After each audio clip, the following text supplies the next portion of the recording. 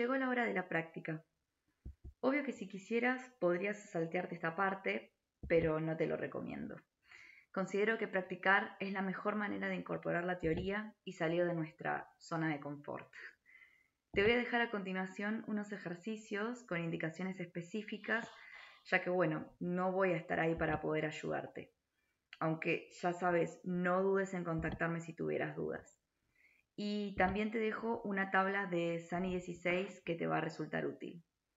Así que, ahora sí, vamos a los ejercicios.